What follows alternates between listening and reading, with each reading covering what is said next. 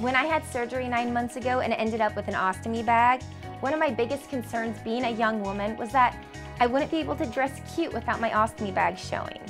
I ordered a pair of the Ostomy Secrets underwear and I love them so much, it's literally all I wear now.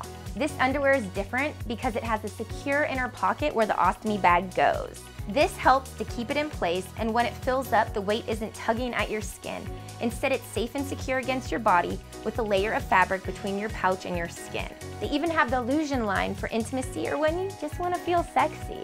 Also, the underwear are designed to completely hide the bag and flatten everything out, so you can still dress cute and no one even knows you have a bag.